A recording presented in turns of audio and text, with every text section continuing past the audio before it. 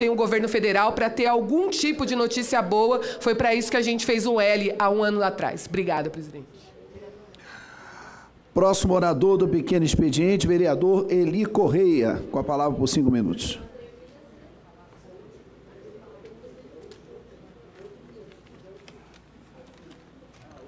Boa tarde, presidente. Boa tarde, nobres colegas, amigos e amigas vereadores e a todos que nos assistem. Uma matéria, aliás, uma não, várias matérias têm sido vinculadas tanto pelos jornais, eh, pelos jornais Estadão, Folha, nos chama muita atenção sobre o envelhecimento da população brasileira, que aliás hoje foi tema, né, vereador Manuel Del Rio, e que tanta gente trouxe lá no pequeno plenário hoje para discutir esse assunto. Indicadores de envelhecimento da população brasileira aceleraram para níveis recordes e pessoas de 65 anos ou mais já representam 10,9% do total de habitantes do Brasil. Dos 203 milhões de brasileiros, 22 milhões estão nessa faixa etária. É o que apontam novos dados do IBGE. O percentual de idosos é, é, maior, é o maior desde o primeiro recenseamento realizado no Brasil em 1872.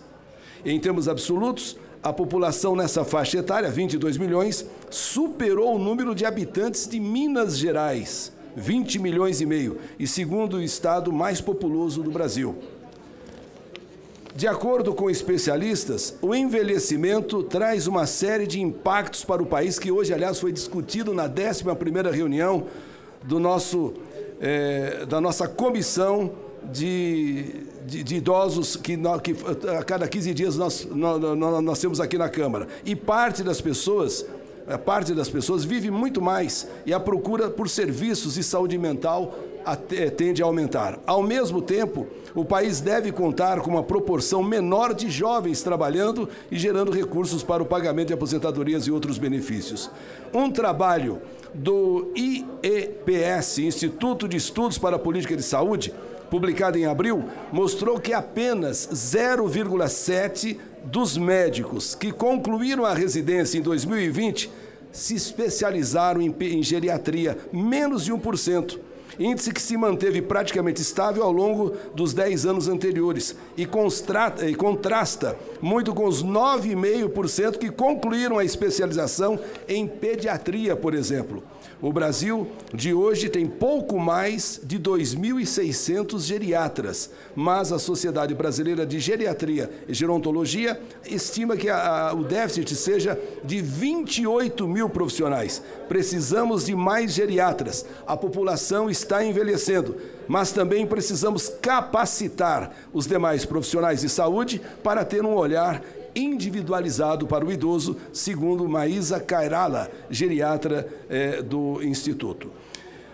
Os cuidados domiciliares, que são um pilar central da assistência ao idoso em outros países, também não estão bem estruturados no Brasil, diz Matias Regen, pesquisador sênior do IEPS. Pressão, diabetes, câncer, artrose, demência, com o envelhecimento populacional, aumenta a prevalência de doenças crônicas, como hipertensão arterial e diabetes. Sem controle ou tratamento, elas levam a quadros de infarte e AVC.